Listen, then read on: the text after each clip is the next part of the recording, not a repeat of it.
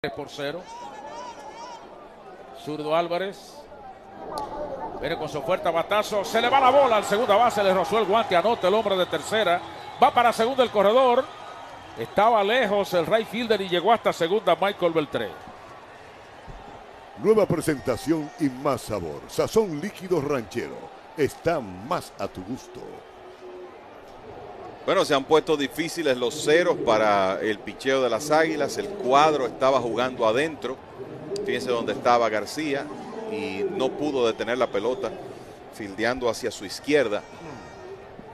Guzmán iba a anotar de todas maneras, pero en este caso se complica la situación porque Beltré se coloca en posición de anotar con menos dos